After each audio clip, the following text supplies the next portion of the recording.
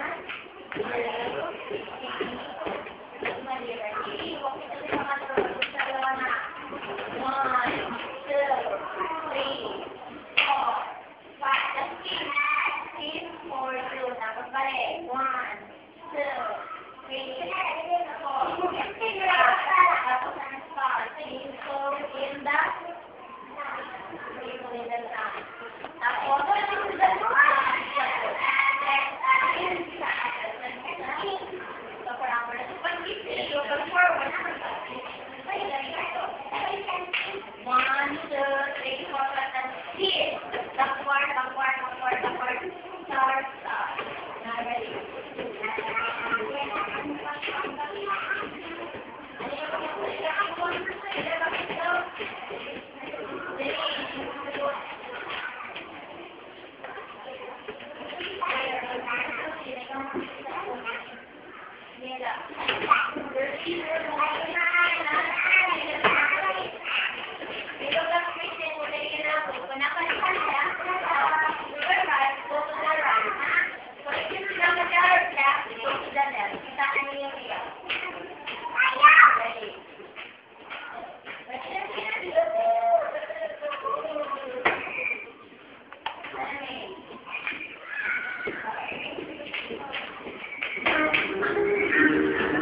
Thank